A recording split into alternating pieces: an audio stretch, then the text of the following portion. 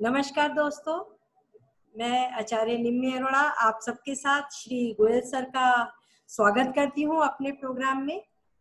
आज हम गोयल साहब से मिलने वाले हैं।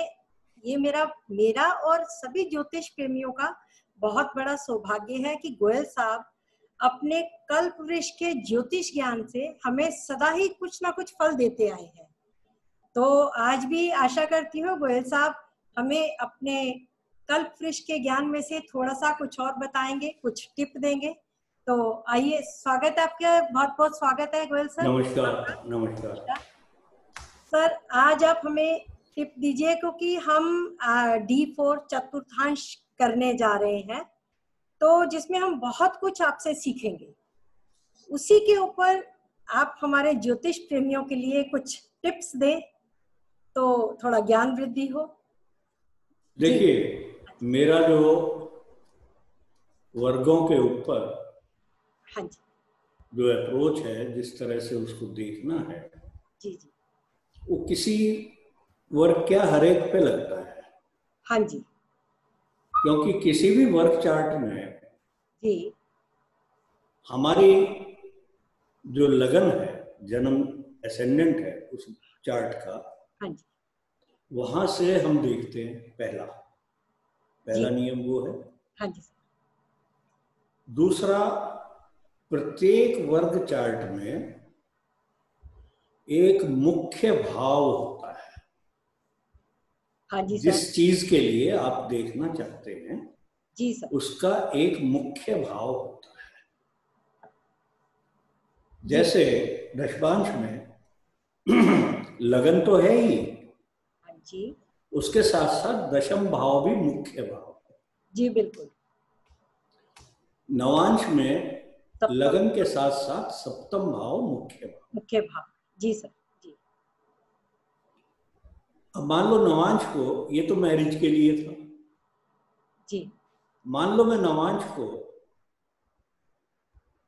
धर्म के लिए देखना चाहता हूँ। जी तो सर। लगन के साथ साथ नवम भाव मेरा मुख्य भाव हो जाएगा तो वो सर विवाह के धर्म के लिए हो जाएगा? नहीं। हाँ जी।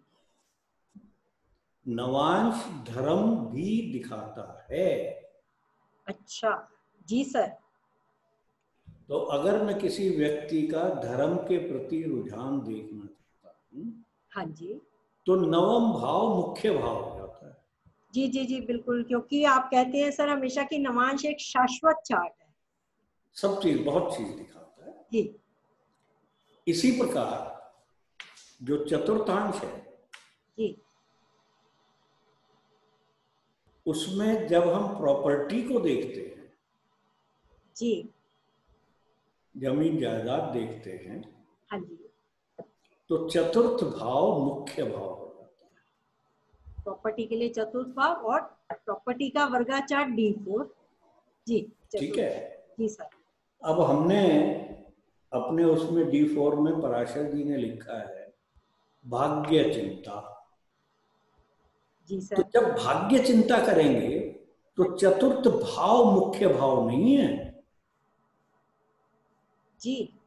वो और कोई है वो हम आपके वेबिनार में बात करेंगे। जी सर। अभी नहीं। ठीक है सर ठीक है। तो सर अभी हमारे अभी हम कुछ और टिप्स चतुर्थ भाव की बात करेंगे।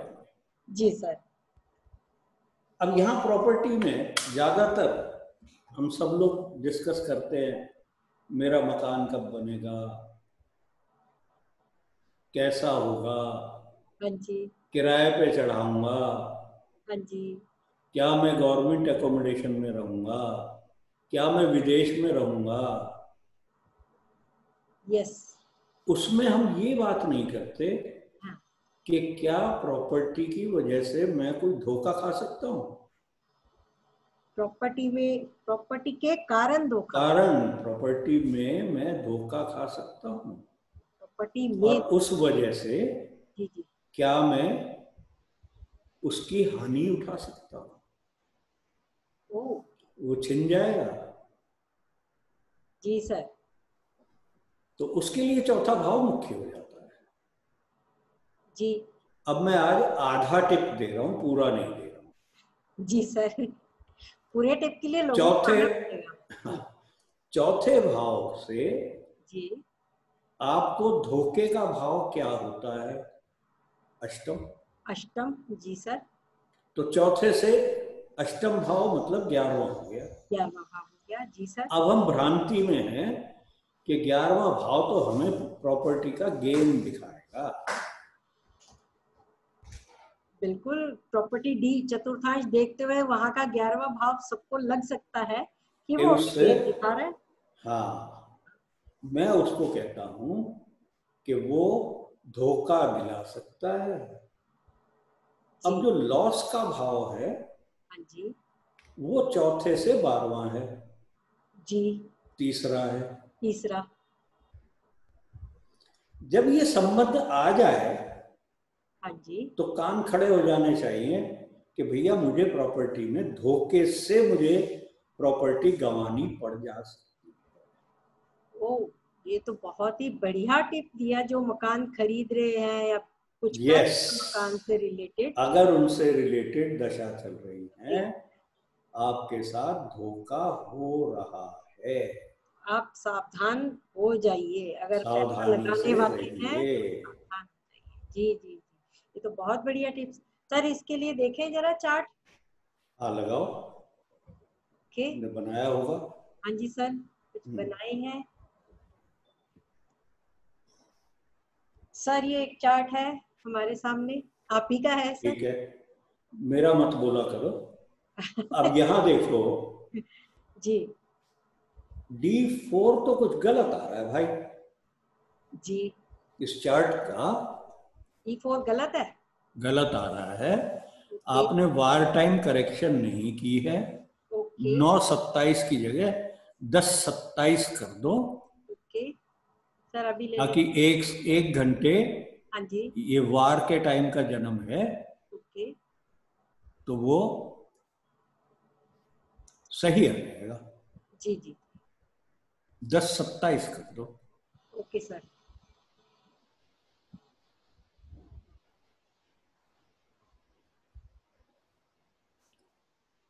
वार टाइम था ना उन दिनों? हाँ जी हाँ जी सर हाँ जी। तो ये पी एल नाइन वार टाइम लेता है। ओके। तो सर यहाँ हम देखते हैं चतुर्थांश। अब ये नवांश की जगह चतुर्थांश ले आओ इधर की तरफ़ को। ओके सर ताकि मैं पढ़ पाऊँ ठीक से। जी सर जी। अब यहाँ आप देखिए। जी सर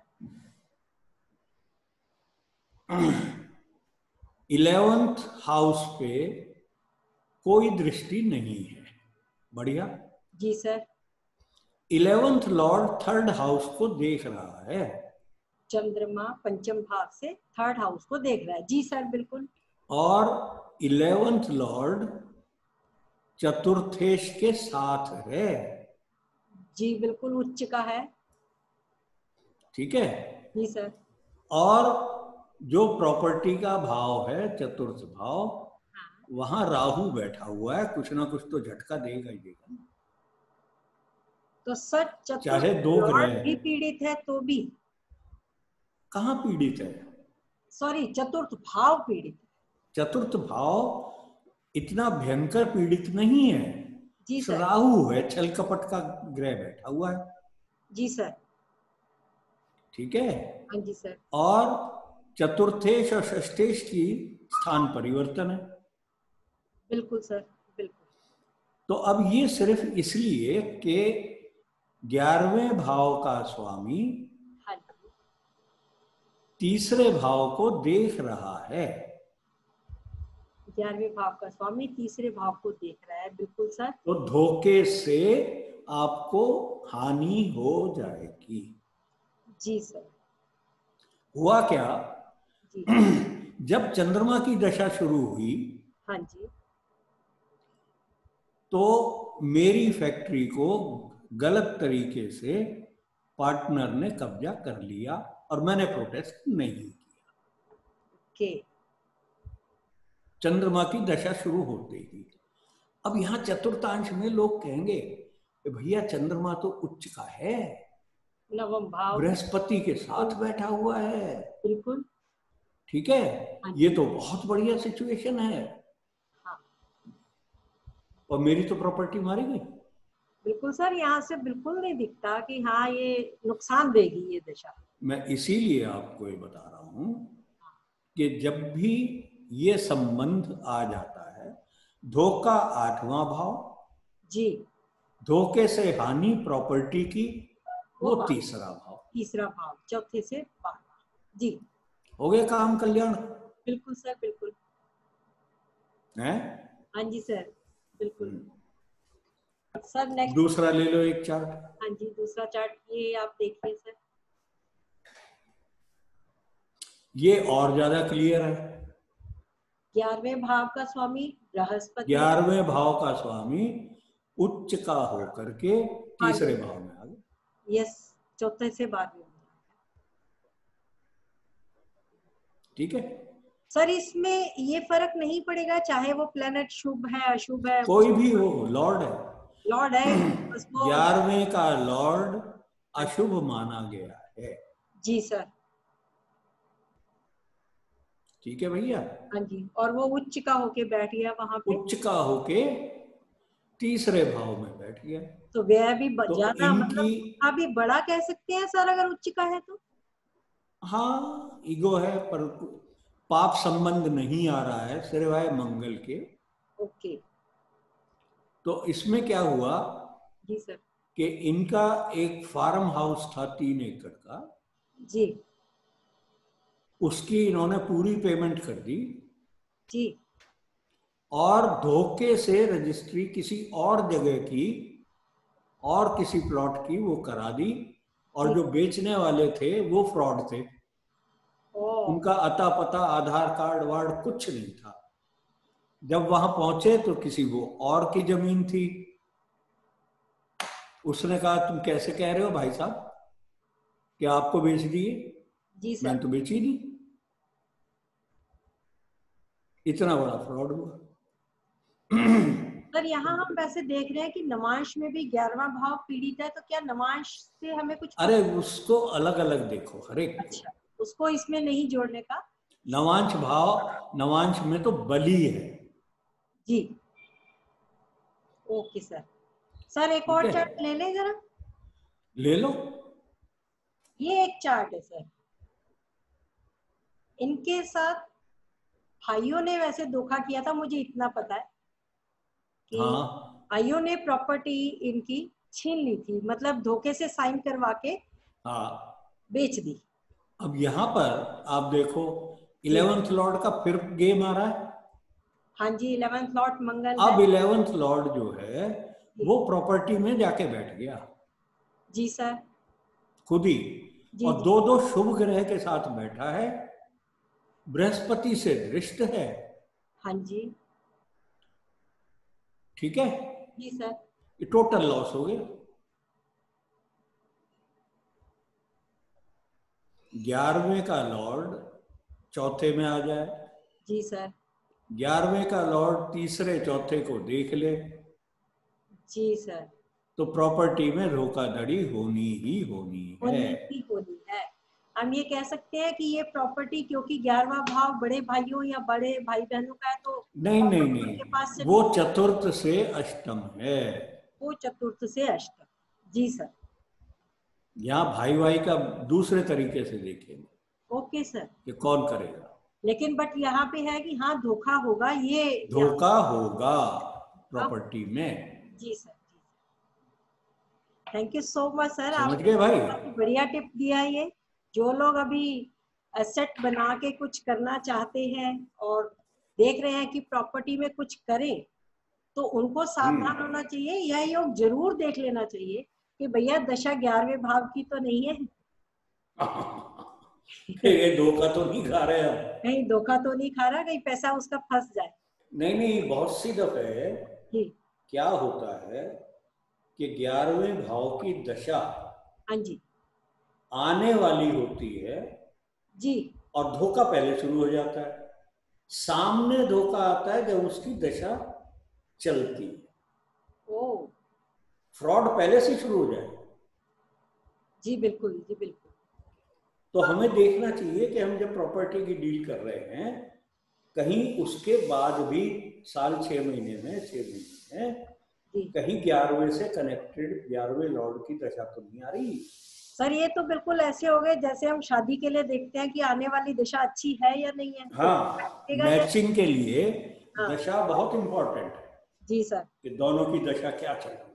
तो कोई भी बड़ा काम करने से पहले दशा आगे वाली देखनी बहुत इम्पोर्टेंट है। सर ये भी आपने साथ ही सिखा दिया। नेक्स्ट क्या? कि नेक्स्ट क्या है? जी सर। अरे ये तो भैया आप आओगे। ये कोई मैंने किताब में भी नहीं लिखा। जी सर जी। ये तो रोज़मर्रा देखते हैं जब। जी। या आप लोगों से बात करता हूँ वेबिनार में या सेमिनार में। जी जी जी। तो आप लोगों के क्वेश्चन से ये नए बिंदु निकल जाते हैं जी सर जी। तो वही एक है कि सारी चीज़ तो मुझे भी याद नहीं है हाँ परंतु जब सिचुएशन आती है तो आपको अलग चीज़ मिलती है। जी क्योंकि उस समय की सिचुएशन अलग होती है। इसलिए जिन्होंने मेरे पहले मान लो किसी दशा का या वर्क का वेबिनार अटेंड किया है और वो दोबारा अटेंड करते हैं तो उनको कुछ ना कुछ नया फिर मिल जाता है। जी सर जी बिल्कुल। हर बार एक नई चीज़ मिलती है सर। कहीं ना कहीं नई चीज़ निकल आती है। बिल्कुल। तो मैं अपने व्यूवर्स को बता दूँ सर हमें फिर से मिलेंगे 20 जून को चतुर्थांशा हम लेके आ रहे हैं जिसमें हम चतुर्थांश की सभी बारह भावों की जाँच कैसे होगी हमारी प्रॉपर्टी से रिलेटेड और भी बातें और भी जानकारियाँ सर देंगे और ये भी भाग्य चिंता जो सर इसको कहते हैं भाग्य चिंता वो कैसे है? उसका पता भी हमें यूसी में वेबिनार में मिलेगा। और विदेश में रहना, ये भी हमें सर उसी दिन बताएँगे। तो आप सब 20 जून को वेबिनार में आइए और रजिस्ट्रेशन पहले से करवा लीजिए। 19 जून तक, शाम 9 बजे तक वेबिनार की तारीख फिक्स है। शाम के 9 बजे तक 20 जून को आप रजिस्ट्रेशन करवा सकते हैं। एंड टाइम पर रजिस्ट्रेशन करना थोड़ा मुश्किल हो जाता है तो आप हमें क्षमा कीजिएगा अगर हम आपको उसमें शामिल ना कर पाए। तो सर आपका बहुत बहुत शुक्रिया बहुत बहुत धन्यवाद। धन्यवाद। फिर मिलेंगे। जी। ऑल द बेस्ट ठीक है। Thank you sir thank you